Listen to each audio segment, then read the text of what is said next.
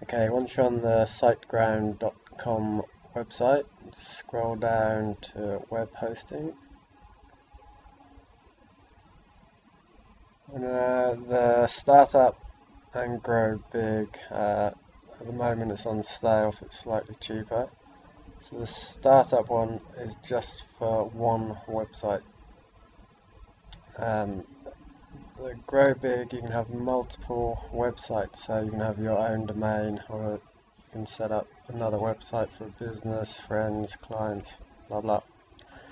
So depends on your needs but the cheapest one is enough for one website. So click get started.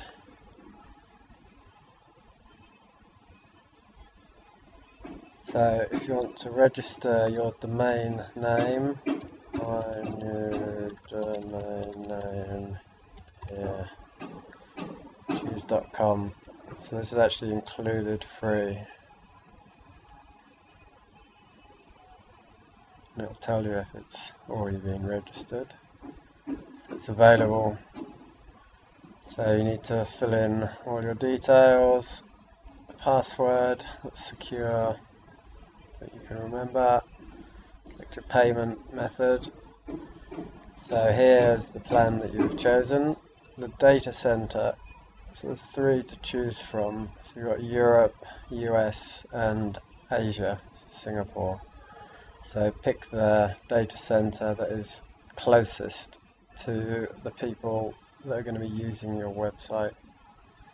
So stick with Singapore. 12 months Uh, you can choose what you want to, how long you want to register for. So the domain is free, privacy.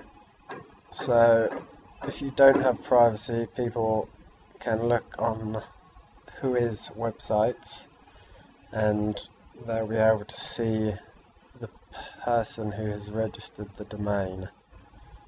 So they'll be able to see your details here if you don't have domain privacy.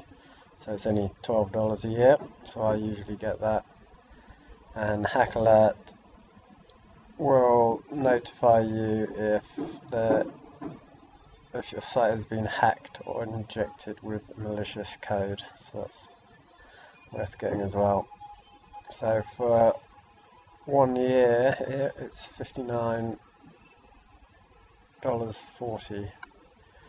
So submit order once you fill all this in and that's that. You'll be taken to the confirmation page and you'll receive a confirmation email with links to log into your account